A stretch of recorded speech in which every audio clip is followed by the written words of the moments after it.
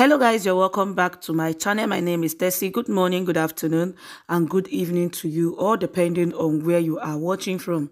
A worldwide vehicle creator, Aliyu Jelani designed Nigerian first electronic car as in the picture. Aliyu is a revolutionary designer who is behind General Motors, Chevrolet Volt, the battery-powered electronic car. He has been in Nigeria for about three years as Director General of the Nigerian Automotive Design and Development Council. Like Tesla, the US-based electronic car manufacturer, after a few years of rollout of their electronic car, is valued more than six first biggest car companies in the world joined together. The Sokoto-born Nigeria is a raw gold and if given proper support can employ millions of youths in handful of years. Alright guys and uh, that is it for you all. The truth of the matter is that we have a lot of talented people in Nigeria, but they lack government empowerment. But maybe because he's from the north, they may try to look into his case to try to help him. But the truth of the matter is that it is good to find such a man in Nigeria. And he is not the only Nigerian person that has done something great as this. But my question is, why does the so-called leaders we have in Nigeria overlook such great people? Why is it that such people don't go far with their talent?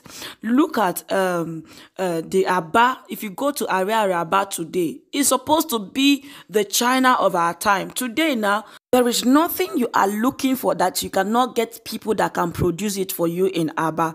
But our people rush to China to import things. They rush to China to buy their most of those things. Most of those things they go to China to buy is something that if you really want to produce it in Aba, you will get better quality and cheaper rate.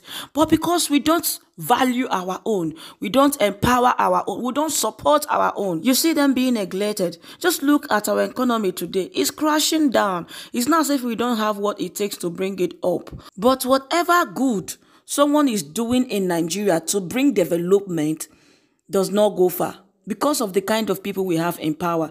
This thing did not start today. So many Nigerian youth, they are talented to manufacture so many things, just like the white. But due to the bad government that we have, they are not noticed.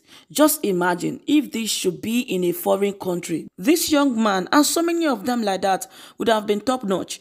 As they are discovered, they are taken serious and they will be there manufacturing different types of cars and the billionaires we have in Nigeria, those who goes outside the country to import cars, to buy, they will be patronizing, and even foreigners will be patronizing us.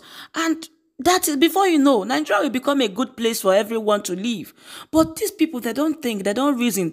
I think if they even think at all, a time will come where they will begin to think, imagine all these things that we go outside to buy, we go outside, we enjoy good life, we go outside, we buy our cars, anything we want to go outside the country to buy them. These things are being put together by a human being like us.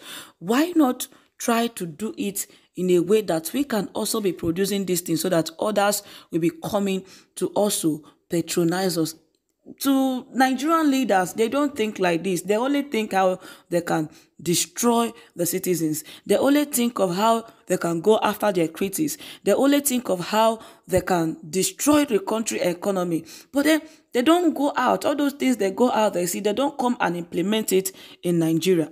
Just imagine that this young man and every other talented youth in Nigeria are empowered. It will not only benefit them and their family members, but it will provide jobs for others. It will empower others. It will provide opportunities for others.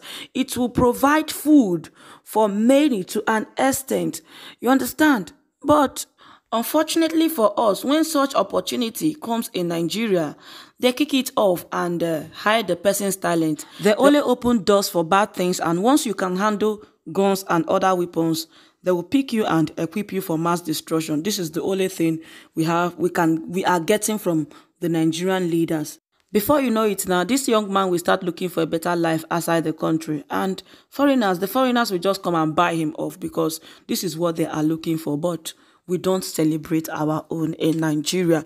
And that is it for you all. I'm going to leave you all to share your thoughts with me on the comment section. I've come to the end of this video. And with that, I'll say thank you so much for watching. And please, Don't forget to like, share, and subscribe, and I will see you all in my next video. Remain blessed until I come your way next time. Bye-bye. Bye.